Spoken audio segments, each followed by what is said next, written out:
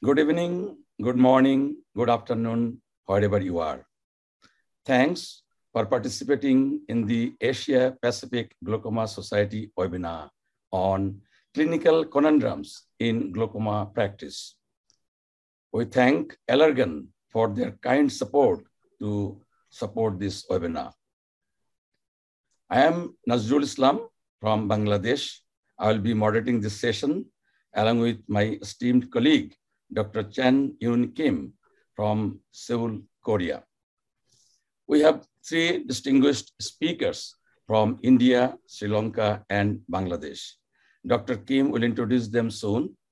Uh, before that, let me talk few words about Asia Pacific Glaucoma Society.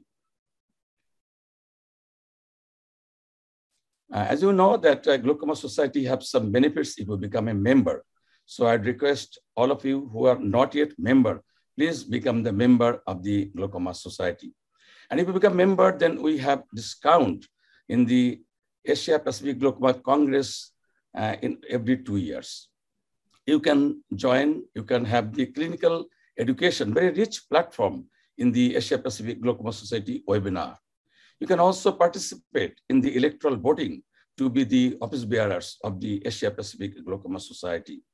You can have collaborative sessions with the different societies, American Glaucoma Society, European Glaucoma Society, and many other national glaucoma societies.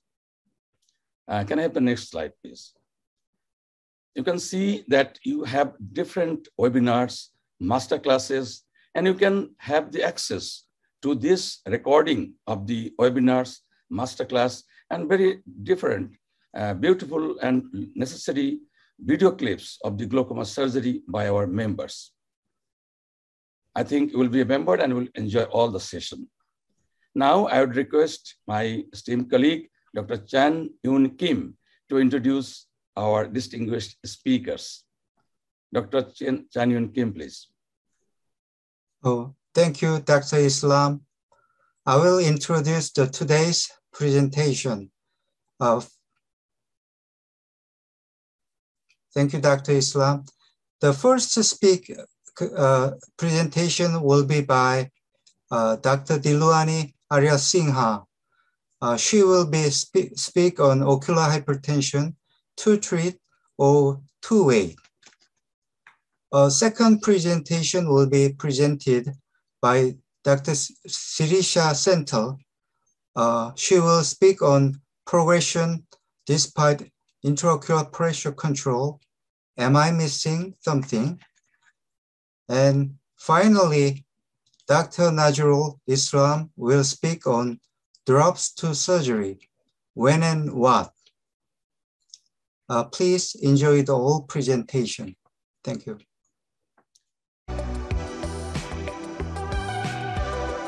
Uh, good evening. At the outset, I would like to thank the Asia Pacific Glaucoma Society for giving me this opportunity.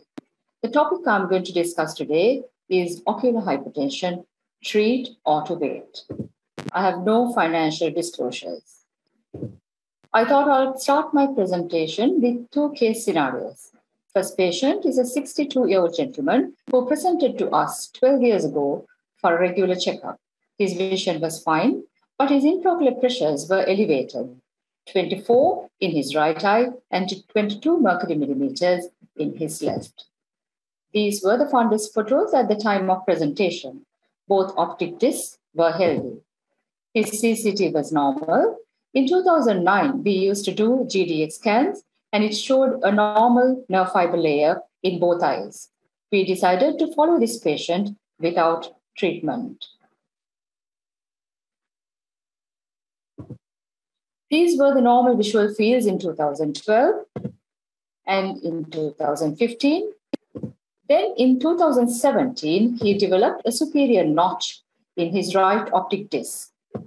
The OCT in 2017 showed a significant superior nerve fiber layer defect in his right eye and a corresponding inferior visual field defect in the same.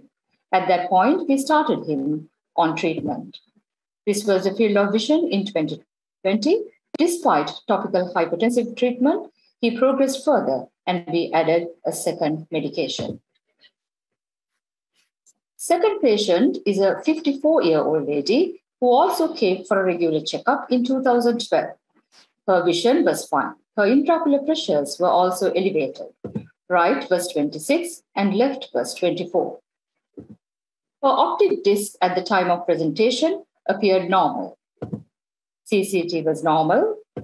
OCT was also normal. We decided to follow her without treatment. These are the fundus photos in 2021 with normal healthy discs. OCT scans are still unremarkable. Visual fields still remain normal.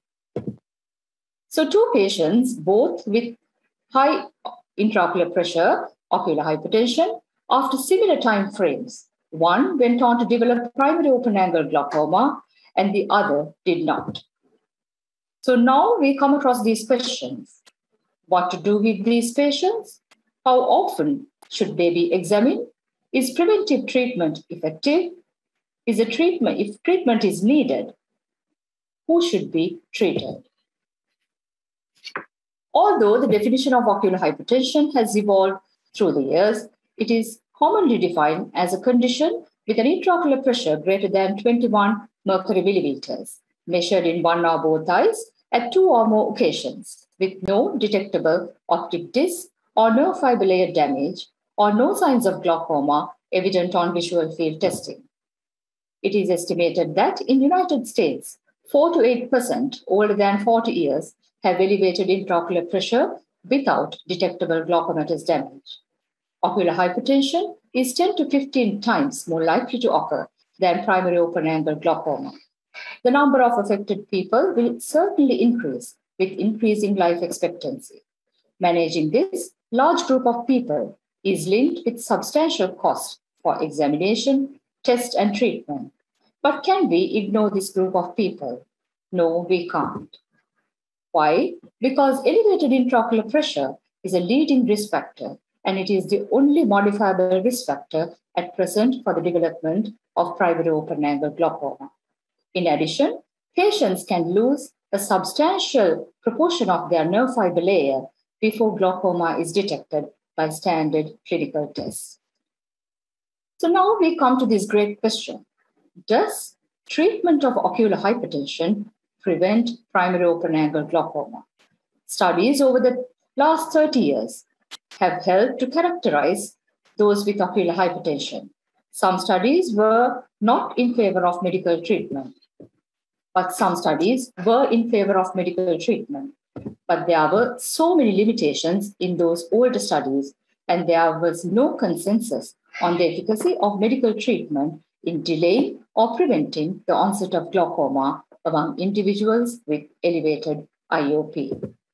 Then the ocular hypertension treatment study was designed. It is the largest randomized trial on OHT to date. It was designed to evaluate the safety and efficacy of topical ocular hypotensive medication in delaying or preventing the onset of primary open angle glaucoma in individuals with ocular hypertension. These were the eligibility criteria. Phase one was started in 1994. A total of 1,636 participants who fulfilled the eligibility criteria were randomized to either observation or treatment with commercially available topical ocular hypotensive medication. The goal of the medication group was to reduce the IOP by 20% or more to reach an IOP of 24 mercury millimeters or less. The primary outcome was the development of reproducible visual field abnormality or reproducible optic disc deterioration attributed to glaucoma. So during the course of this study, the mean reduction in IOP in the medication group was 22.5%. At 60 months, the cumulative probability of developing POAG was 4.4% in the medication group compared to 9.5% in the observation group. There was a trend for treatment to be less protective among self identified African American participants. However, the data suggests that this racial effect may be due in part to larger baseline cup to disc ratios and thinner central corneas. the inclusion of these factors caused race to become statistically insignificant in the multivariate model. So while the first phase of ocular hypertensive treatment study provided a proof of concept of the value of early treatment, the study did not inform clinicians as to when individuals with ocular hypertension should initiate treatment. The most effective and cost effective approach depends on whether there is a penalty for delaying treatment. Then the second phase of OHTS was designed in which the medication was offered to all participants in the observation group, while participants in the medication group continued treatment. This created two groups, early treatment group and delayed treatment group. Therefore, they were able to compare the cumulative incidence of POAG in the medication group, which was treated for the entire duration of the OHTS, that is 13 years, with that in the observation group, which was treated only for 5.5 years. Among participants who developed POAG, the median time to develop glaucoma was six years in the observation group and 8.7 years in the medication group. A five-factor model, the older age, higher IOP, thinner central corneal thickness, larger cup to disc ratio, and higher visual field PSD were confirmed to be predictive factors for the development of POAG in individuals with ocular hypertension. Myopia was not predictive of the development of POAG in OHTS. Delaying treatment in OHT patients increased the cumulative incidence of glaucoma at 13 years. It resulted in more eyes with structural and functional damage, more participants with bilateral disease, and shorter time to develop glaucoma. But waiting does not have a large effect on MD and PSD within five years of developing POAG. The phase three of OHTS determine the cumulative incidence and severity of POAG after 20 years of follow-up among participants in the OHTS. But only one-fourth of participants developed visual field loss in either eye over a long-term follow-up. All phases of OHTS allow us to draw some important conclusions about management of ocular hypertension. Early medical treatment decreases the cumulative incidence of POAG. The absolute effect is greatest in high risk individuals. Conversely, there's little absolute benefit of early treatment in low risk individuals. There are several other large randomized trials, such as European Glaucoma Prevention Study, which I'm not going to go into detail.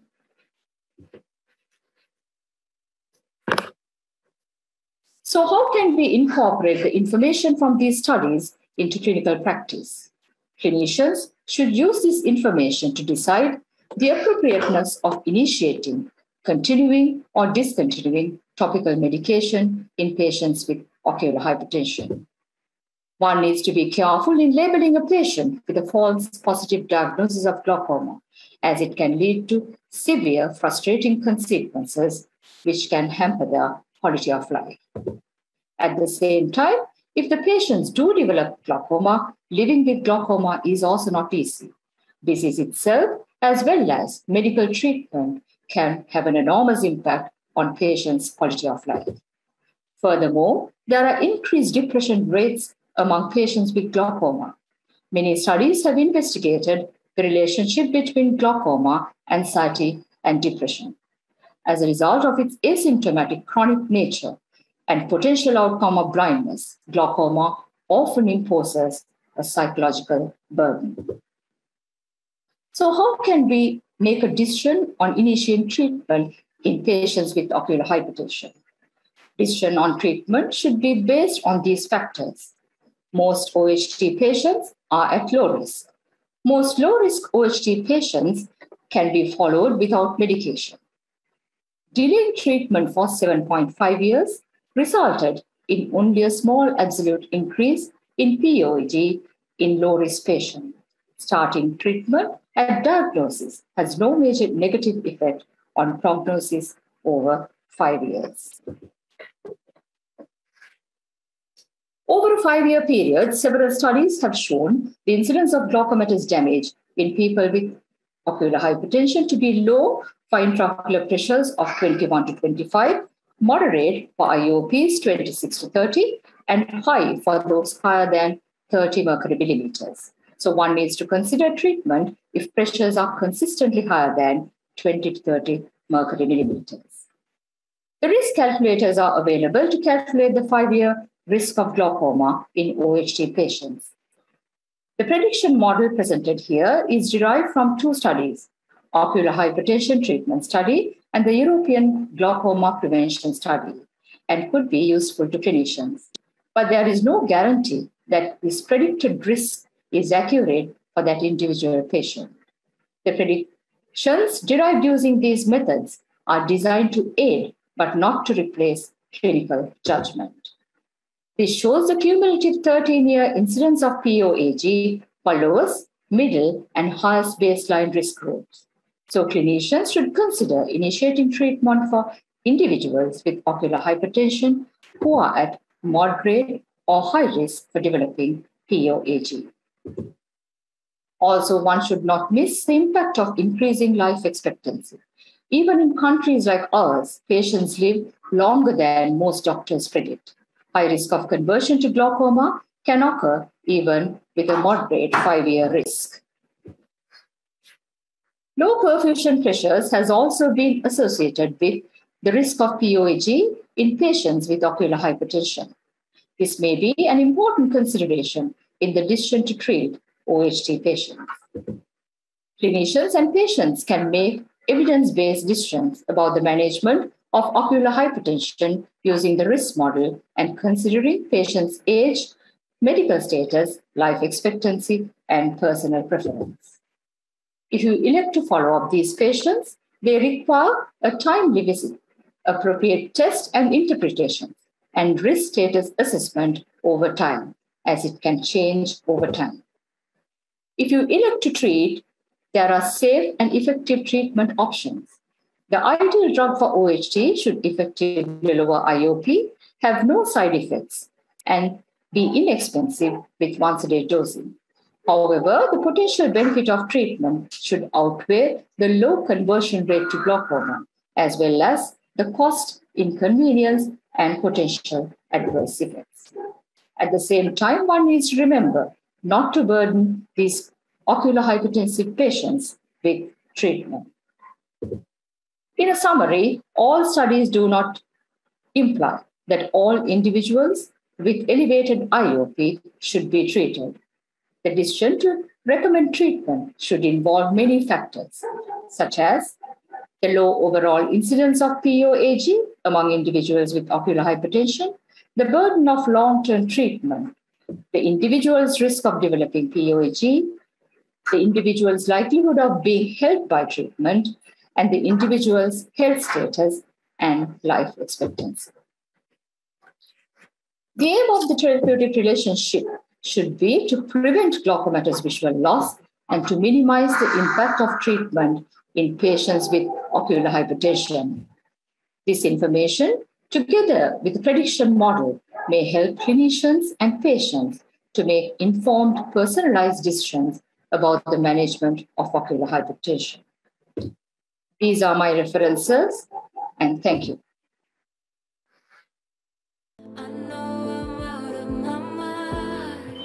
Hello, friends. Uh, today's topic for discussion is progression of glaucoma despite normal intraocular pressure. Am I missing something? So before we move on to understanding what do we do when it progresses, let us understand how do we treat glaucoma. We all know that intraocular pressure is the only treatable risk factor. All that we do by means of medications, laser, or surgery is to control the intraocular pressure. Most often, decreasing the intraocular pressure is beneficial and prevents progression to a great extent. Even in patients with normal intraocular pressure or the so called normotensive glaucomas, we know that intraocular pressure reduction is definitely beneficial, even in the long term studies. And studies have shown that inadequate intraocular pressure control and intraocular pressure fluctuations are important risk factors for progression. So, if somebody progresses despite having the intraocular pressures in the target intraocular pressure range, are there any other factors that could be leading to progression and how do we assess them? We understand that majority of our patients are uh, easily manageable. Close to about 5 to 10% of our patients, sometimes we do face difficulties with progression despite our best efforts and treatment. So, what we are trying to look at is could there be other factors? Should we be looking at something else that we are missing in case these people progress? There are several studies that have looked at the ocular perfusion, uh, the effect of oxidative stress, sleep disorders, uh, the problems with nocturnal fluctuations in blood pressure, all of these associated with progression of glaucoma. So, we, when we see a patient who's progressing, despite normal intraocular pressure, what all can we evaluate? We definitely need to look at the ocular factors, see if there are significant fluctuations in intraocular pressure. Is the target intraocular pressure all right? Do we need to reset the target intraocular pressure? Systemically, does this patient have any other problem related to vascular dysregulation, hypercoagulable states, or problems with sleep apnea, insufficient blood supply, hypotension, or is there any other neurological factor? Or sometimes the behavioral changes itself, like uh, starting from exercise, certain types of exercises, excessive water therapy, and things like that. So, first and foremost, whenever we see that there is a progression, I think it is very important to confirm whether this is true progression or not. How do we do that? Simply by repeating the visual field analysis.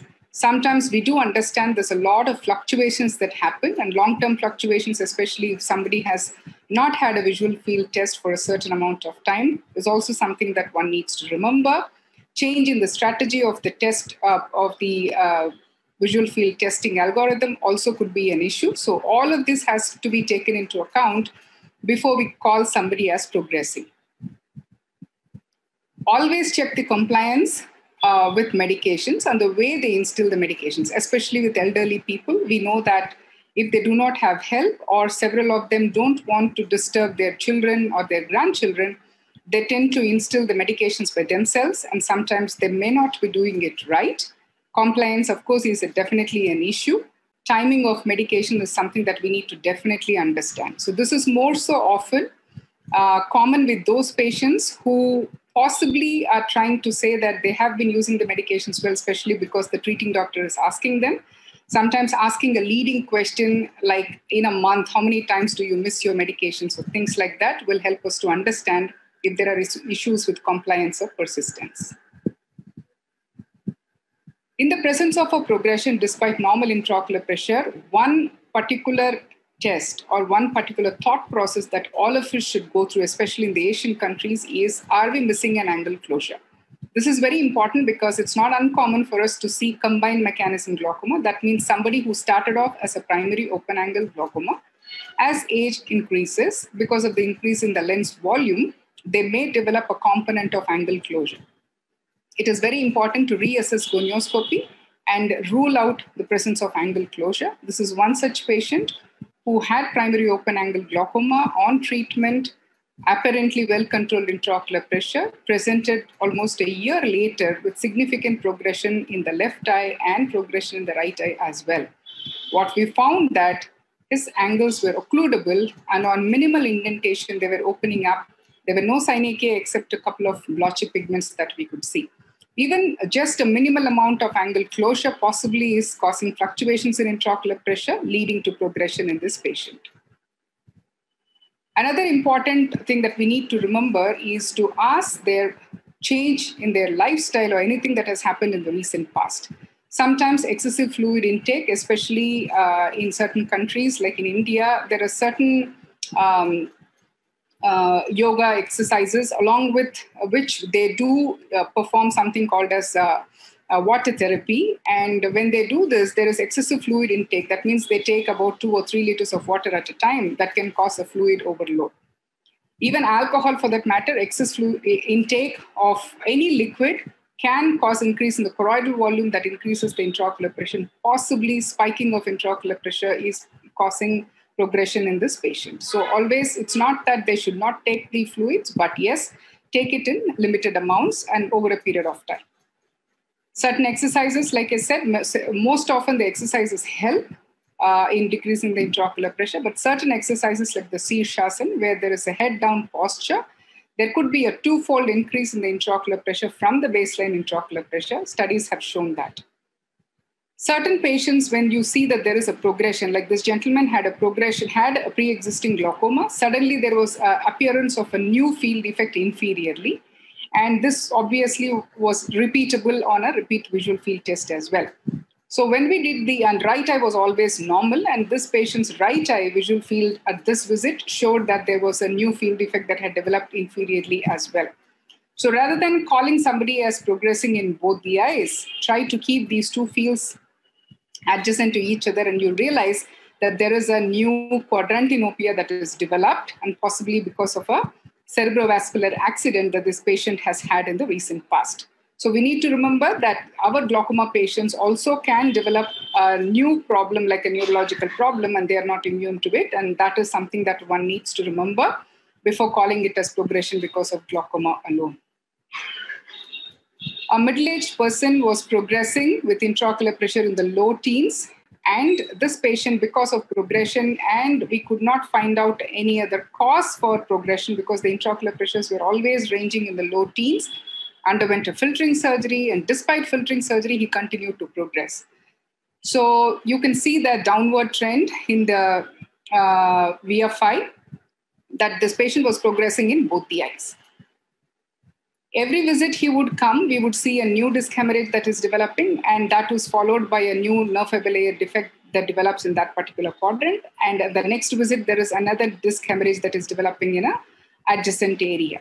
So this was very disturbing, and this patient continued to progress despite the surgery. And uh, we were wondering what to do next. So we started on additional medications. Uh, he continued to progress. And I actually sat back with him and I asked him the additional uh, history. We could rule out most of the things that we were thinking about. No, no recent uh, cardiac problem or no other systemic problem that you could think of. All the other blood parameters were normal. Uh, nothing else except possibly a history of snoring that also on uh, two, three attempts that I asked, he agreed that yes, possibly he snores sometimes. We sent him to a, a, sleep specialist, and we found that he had severe obstructive sleep apnea with an AHI index greater than uh, 39.5. So he was put on a positive uh, airway ventilation, and following which all these disc hemorrhages stopped appearing and it remained, the fields remained stable. So obstructive sleep apnea is again a uh, important pathology. It's been there for a long time, but I guess we are recognizing it um, more commonly nowadays. So the prevalence of glaucoma is higher in them. And if somebody is progressing, uh, despite the uh, good intraocular pressure control that we think of, one needs to definitely think of obstructive sleep apnea as a cause, especially when one sees recurrent disc hemorrhages. This has been our experience. We need to understand that optic neuropathy in obstructive sleep apnea happens both because of mechanical factors, where there is raised intraocular pressure in the supine position, majority of them are obese, because of which they also have raised episcleral venous pressure. Also, there is raised intracranial pressure in these patients. So there are certain mechanical factors that raise the intraocular pressure. Apart from that, there are also vascular factors that cause hypoxia and hypoperfusion. So there is hypoperfusion, reperfusion injury as well. All of these factors can contribute to progression of glaucoma. There was another gentleman who was diagnosed primary open angle glaucoma. This was in 2004. You can see small discs with inferior excavation in the right eye and left looked essentially normal, except that there was a small superior excavation, but there were no nerve fiber layer defect. Patient was on treatment and was very regular and compliant. Over a period of time, we could see that he continued to progress. And there were every time again, new disc hemorrhages were appearing, and significant progression was noted in the right eye. And the left eye also started developing a defect, the superior, uh, early superior notch with fiber defect. And his intraocular pressure always ranged in the low teens. So you see that there was initially there were fluctuations, but over a period of time, we could clearly see that he was progressing in both the eyes, especially left eye, had no damage to begin with, but continued to progress. So he underwent a cardiac bypass surgery uh, and he had unstable blood pressures for quite some time. So that is the time when he started progressing. So we need to remember that in a glaucoma patient who's been stable for some time, if there is a new event that has happened in between, possibly that is contributing to progression as well. Whenever there is decrease in central visual acuity and there is progression in visual field, I think one needs to be very, very careful in ruling out associated other pathologies, especially when you see the optic disc is also quite healthy. This was one such patient who had normal visual fields which suddenly progressed, and this was not exactly uh, uh, respecting the vertical midline. You could see that the the field, uh, the defect also had crossed on the midline and especially inferiorly is almost uh, involving the whole of inferior hemifield. So this particular patient was asked for a neuroimaging, was found to have a large tumor, and this was operated and patient was taken care of. So whenever you see a young patient with a unilateral disease or sometimes uh, optic disc pallor that is out of proportion to the cupping, atypical visual field defect, or visual field defect with a central decrease in visual acuity because this is very, very uncommon to have a decrease in central visual acuity in a glaucomatous patient unless there is an advanced damage, or a disc and field does not correlate, or if there is a presence of color deficiency or the patient complains of decrease in contrast, these are the patients where you definitely should ask for a neuroimaging and rule out any other associated pathology. So, can glaucoma progress when the intraocular pressure is well controlled? The answer for that is yes. We all know that. We do see this, and these are some of the most difficult patients to treat. So, we need to remember that whenever a situation like this arises, we, we need to understand that there are several other factors patient related factor, medication related factor, possibly a new disease, systemic factor, so many other things that we need to evaluate to be able to come to a particular conclusion or possible diagnosis or possible uh, causative factor for this progression. So, to summarize, most important thing when somebody is progressing at so-called normal intraocular pressure is possibly this intraocular pressure control is not sufficient for the patient. First thing we need to do is try and see if you can reset the target intraocular pressure. Try to bring down the intraocular pressure to a lower level compared to what is it is existing now. Rule out presence or, uh, uh, of angle closure. Always check whether there are any diurnal fluctuations in intraocular pressure. Again, that becomes very important ask for lifestyle changes or any habits that possibly are new and that could be contributing to these changes. Rule out sleep apnea. Blood pressure changes, especially nocturnal dip of diastolic blood pressure, very, very important. That can also cause this problem, especially if there are hypertensives. Nighttime use of antihypertensive medication could be one of the problems as well. Other problems like uh, uh, neurological pathologies, any intracranial space occupying lesion, associated cardiovascular accidents, especially because they're elderly patients, or even sometimes contributory factors like nutritional deficiencies or B12 deficiencies could also be responsible for progression of a field defect or structural changes as well that you see in the form of new uh, changes in the optic disc as well as nerve fiber layer with disc hemorrhages. Should we should rule out all the other associated factors and and, and treat them appropriately. So, in situations like this, think beyond the intraocular pressure, do a thorough clinical evaluation, ask for additional history. Systemic evaluation and appropriate investigations, as discussed, are very important in taking care of these patients. Thank you so much for your patience, patient listening.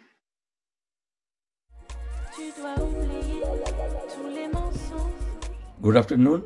I am Dr. Nazrul Islam from Bangladesh Eye Hospital and Institute in Dhaka. I'm really grateful to the Asia Pacific Glaucoma Society and Allergan for the opportunity. I do not have any financial disclosure. I am very happy to find my three good friends, Dr. Sirisha Senthil, Dr. Dilroani Araya and Dr. Kim. We had so beautiful memories before the COVID time. Well, in next few minutes, I shall share my presentation on drops to surgery. When and what? What kind of surgery? If you look to this triangle, The treatment of open-angle glaucoma is anti-glaucoma medications, laser and surgical treatment. Now the question is when you are to change from drops to surgical treatment. To know that we have to set the target IOP for every individual patient. And definitely you need lower target IOP when there is glaucoma damage is higher, life expectancy is more, there is low untreated intraocular pressure, and progression is faster with some additional risk factors. Regarding the target pressure, Asia Pacific Glaucoma Guideline, third edition, has given good guidelines. When the glaucoma is with high risk progressive visual loss, you have to reduce the pressure at least 40% or more from the initial pressure, and the target pressure should be 9 to 12 millimeter of mercury. If the glaucoma with moderate risk, then you have to reduce the pressure from initial pressure at least 30%. If the glaucoma suspect at moderate risk, you have to reduce 20%. Dr. Ramanjit Sihota and Dr. Tanuj Dada et al. They also beautifully showed in a India Journal of Ophthalmology that if the glaucoma is having early, moderate, or severe, you have to keep the target pressure lower, like in early 15 to 17, moderate 12 to 15, severe 10 to 12 millimeter mercury. If we look to the literature, uh, there is many formulas to set the target pressure. One of the modified formula of Jampel is the target pressure equal to initial pressure into 1 minus initial pressure divided by 100 minus Z plus minus 2. In this formula, if we consider the initial pressure is 25 and say glaucoma is glaucoma suspect high risk, Z is 1, then the target pressure should be 17.75 millimeter of mercury. If we look another formula, there is a variation of the Jampel formula that target pressure can be maximum IOP minus maximum IOP percent minus Z. Similarly, if we consider 25 is the initial pressure, then target pressure comes to 17.75, exactly same like the previous formula. So you can take any formula uh, where the target pressure can be set, can be calculated. And then we have to choose the when from drops to surgical treatment we must change. If you find a patient like this, the risk the target pressure, good compliance, stable structure in the disc, and good visual field and function. Definitely, the patient can continue medical treatment with maximum medical treatment. Do not need to switch over to laser or surgery. But sometimes the medication has disadvantages, like it may cause ocular surface disorder. Some patient cannot afford it, is expensive. Affects patient general health also. Many patients have non-responsiveness to these drugs. And last but not least, the quality of life is reduced in the glaucoma medication. So, in some cases, we find the patient reaches the target pressure, stable structure and function, but the patient is having severe ocular surface disorder and poor compliance. Definitely, we have to change from drops to the laser or surgical treatment. Another few groups of patients like uh, target pressure not reached with MMT, definitely have to go for the surgical treatment. Some patient with poor compliance, some patient progression structure and function irrespective of the good control of the IOP with the drugs. Even then, you have to go to the surgical treatment to make it a single digit IOP in future. These are the groups that need surgical treatment. When they first diagnosed as advanced glaucoma, like CD ratio 0.8, 0.9, the visual field is very narrow, then of course you have to think of surgical treatment. Now the question is, what kind of surgery? Well, recently in the last decade we have different options, including laser and microinvasive glaucoma surgery. If we look to the selective laser trabeculoplasty, It is one of the wonderful treatment because it is a cold laser. It, uh, unlike the ALT, does not have any collateral damage, and it actually works and does not cause any harm. And numerous studies, it is found that it reduces the IOP as like as PG analogs like latanoprost. Many authors have found that it reduces the IOP from its initial pressure from 11% to 40%. Very recent study published in this month in the American Journal of Ophthalmology, the LIGHT study, and they found in the China, they found this selective laser trabeculoplasty is a first line of treatment. In 2015, I had a comparative study between the phakic uh, eyes and pseudophakic eyes. The SLT works in both groups. We found more than 22% reduction of pressure in 74% in the pseudophakic group and 69% in the pseudophakic group. So in our population also it works. Now coming to the different surgical treatment. Dr. Ike Ahmed given this plot of surgical treatment, different surgical treatment and in which group of works. Say in the early glaucoma, SLT works, trabectome, uh, eye stent, Kahook dual blade, they work. But in the light moderate cases, definitely iStent also works. But you can go to the canaloplasty, GATT, XEN implant, canaloplasty like that. But when the glaucoma become advanced or the very advanced cases, then you see you have to do tube shunt or trabeculectomy. In some cases, recently in focus, XEN gel implant is doing good result. So definitely from this diagram, we can see that minimally invasive glaucoma has a role for the very early and moderate glaucoma. But still, the advanced glaucoma cases, trabeculectomy, tube shunt are the answer. So, minimally invasive glaucoma surgery is wonderful if we have the facility in our region. But unfortunately, in our region, in many countries, these MX are not available and not affordable by our patient. But of course, if we have the facility, we can utilize these beautifully uh, devices and, and uh, stents so that we can treat our patient even without drops in the early glaucoma and moderate glaucoma cases. I had little experience with the iStent that I got from uh, one of my American friend, and uh, uh, with their guidance, I have I, I did few cases, and definitely the iStent and the eye stent eject gives very good result in the mild to moderate cases. In many studies, the literature is proves that it's quite safe in the patient after the cataract surgery. If you do in the mild to moderate uh, glaucoma cases, uh, they can maintain the target pressure for many years.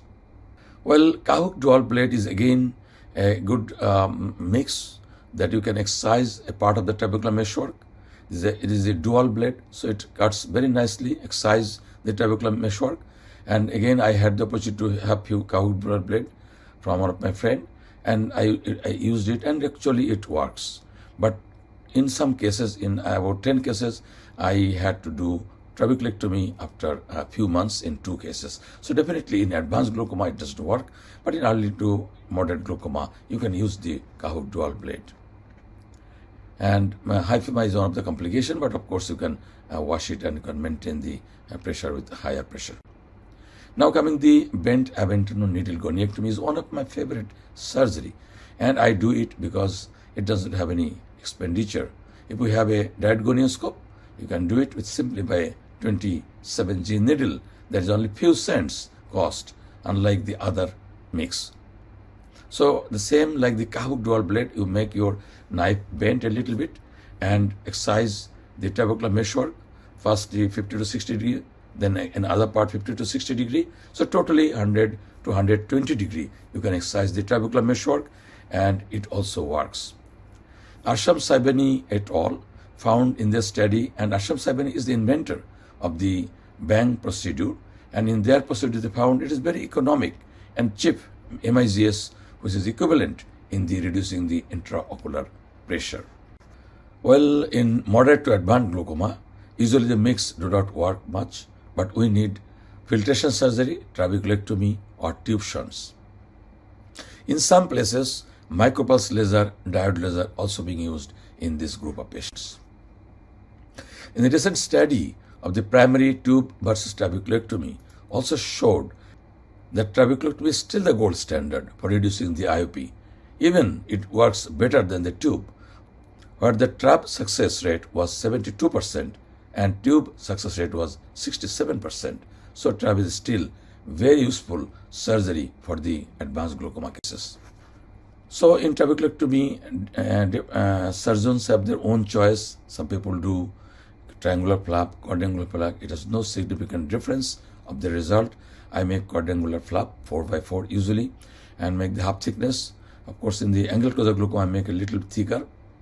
I go about 1 millimeter off to the uh, limbus. So I uh, enter with the 15 degree needle.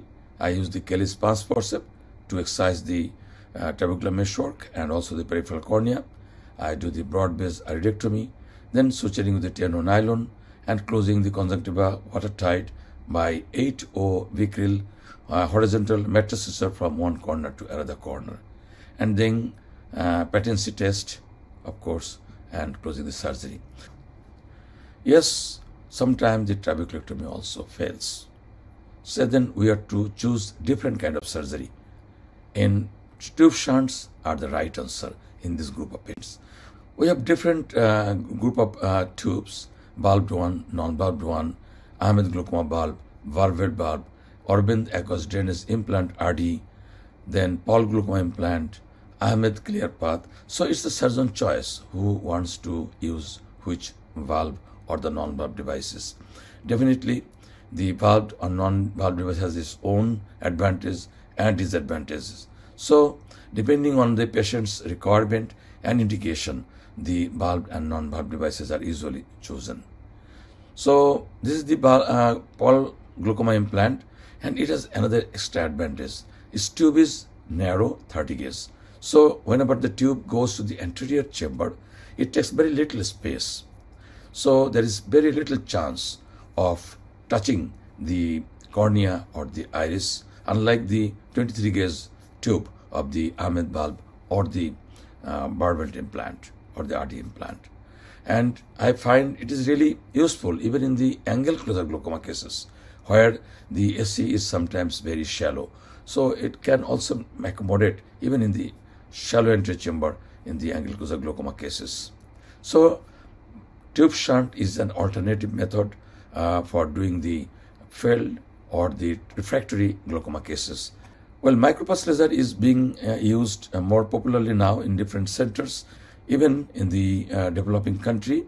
And it has advantage that you can treat not only the advanced glaucoma, also the early, moderate, and also advanced glaucoma cases. Lastly, the diode laser uh, photocoagulation can be used in the advanced glaucoma cases and mostly it is very important to use in the painful blind eye from glaucoma, neovascular glaucoma end stage without vision so that the patient pain become decreased, pressure become reduced. So in short, these are the indications when we want to change from drops to different kind of surgery for different kind of glaucoma. Thank you so much.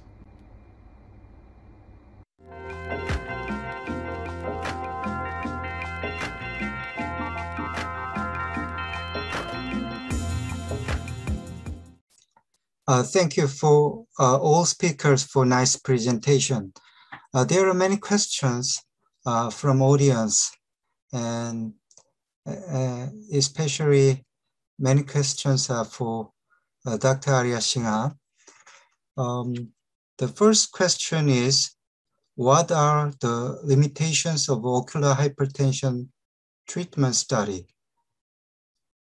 What are the limitations, Dr uh, Dilwani? Uh, yes. Uh, the limitations of ocular hypertension treatment study uh, include uh, their study goal was to achieve 20% reduction in IOP in subjects. So it may not be sufficient to protect them from primary open angle glaucoma. So, and also there was no measure of medication adherence in those patients. in addition, uh, the sample was a convenient sample and not a, a population-based epidemiological sample. And also the participants were considered as uh, completely healthy right at the beginning. So those were the main limitations of the ocular hypertension treatment study. Mm -hmm. Thank you.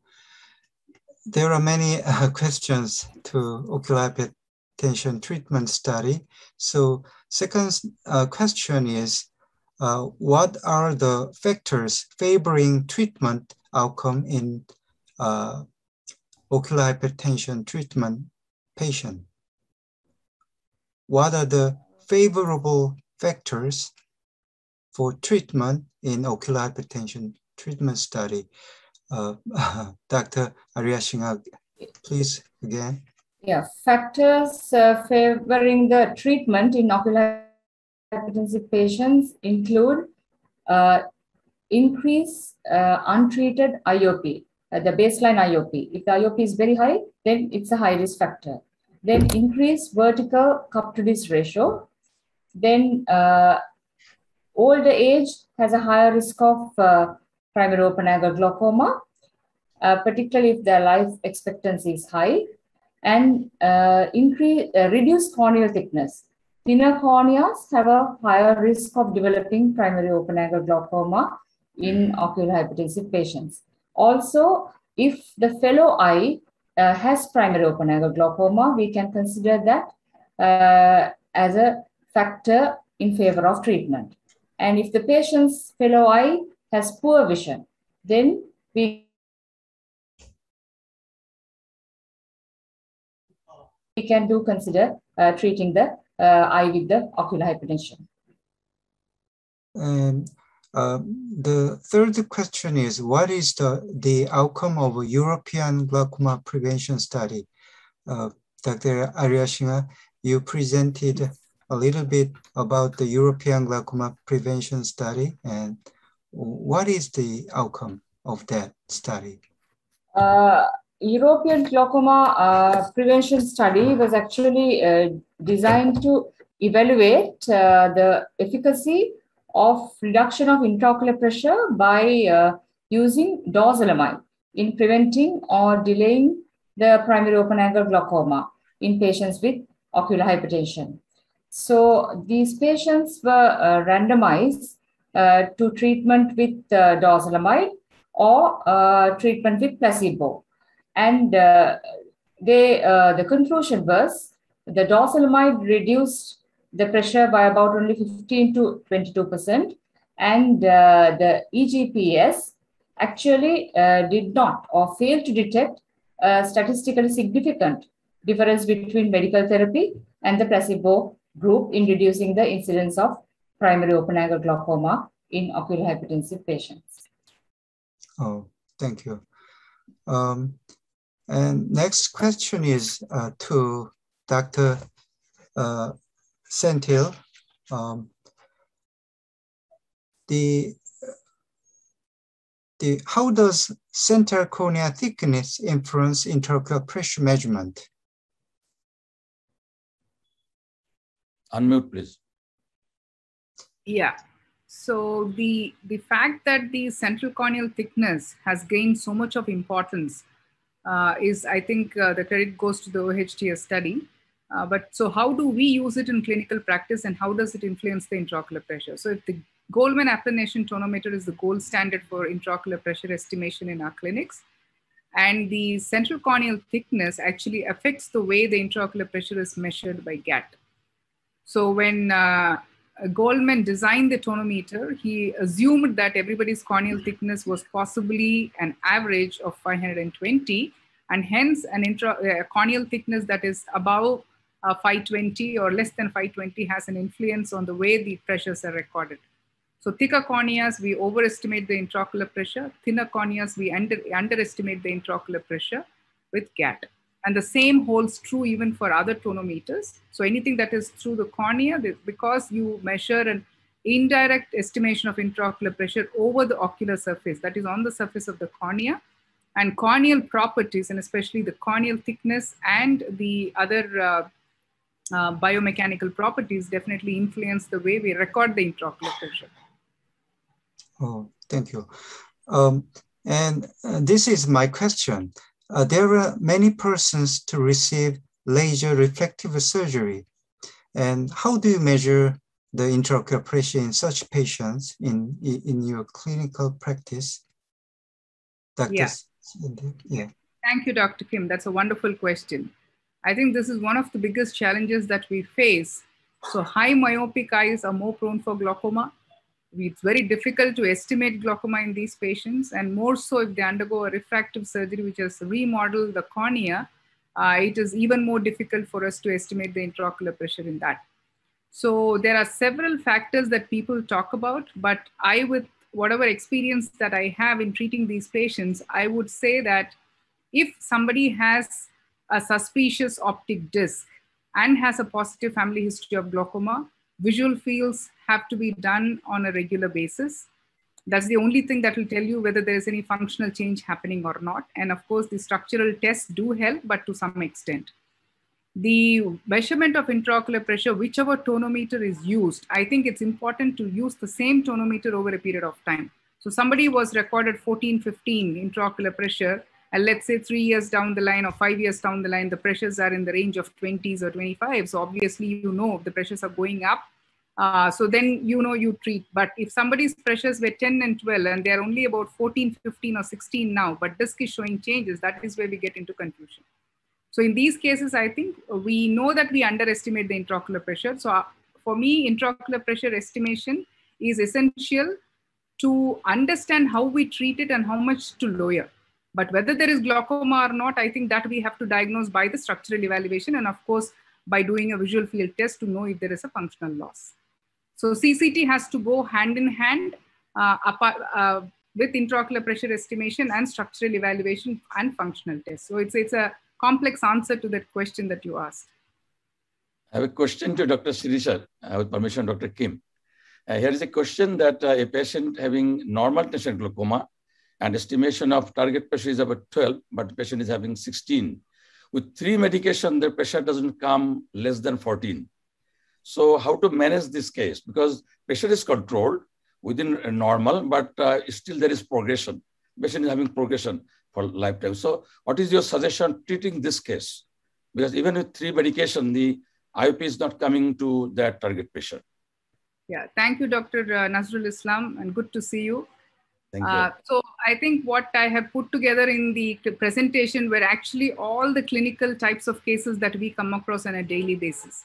So I would say rule out angle closure. I'm sure if you are treating it, you would have definitely ruled that out and look at all the other associated risk factors. So these are patients who actually will require a little bit of our time, sit with them, speak to them, understand uh, their lifestyle. In fact, I can give you an example of a doctor who was going to a gym in the recent past and he was progressing. It was one night and he was progressing and he was telling me uh, that when I, when I kept on asking him questions, he was actually on some diet supplements that had a steroid.